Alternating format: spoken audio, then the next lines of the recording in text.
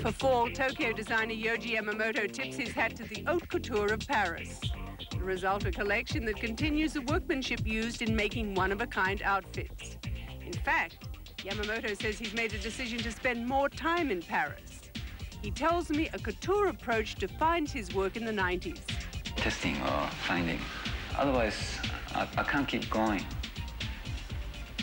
A show becomes like a ceremony or something.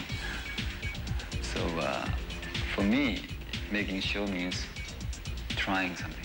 Yamamoto believes that technology is moving at a frightening pace. He adds that people want the assurance and comfort they can get from holding on to the past.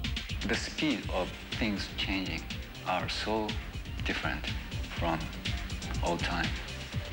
And we feel, we feel like we know everything. But at the same time, we feel very unsure. So uh, when we come back to some of old time, sometimes we feel warmer, we feel strong. The time looks a little light. So uh, things like haute couture, things like our second-hand clothing or all things anyway look strong, especially these two, three years. Uh, people are very much interested in the beauty or the work of haute couture or something. So what about the, what about the fabrics? Did you use modern fabrics, old fabrics?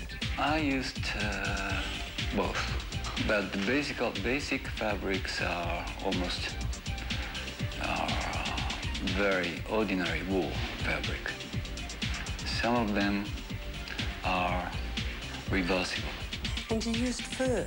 Oh yes, fur. Fake fur, real fur. Luxury, yeah. To remember luxury. Mostly black, but some color. Mm -hmm. Like always, um, I'm still in interested in making silhouette or cutting or form or shape. So mm, I don't care about the color. But at the same time, uh,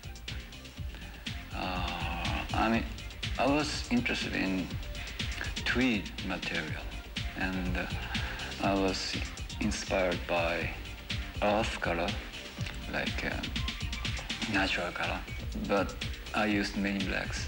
And the evening was long and feminine, huh? Yes, I wanted to find something new, new proportion, new beauty of women's body. So uh, it was like a trip of my imagination.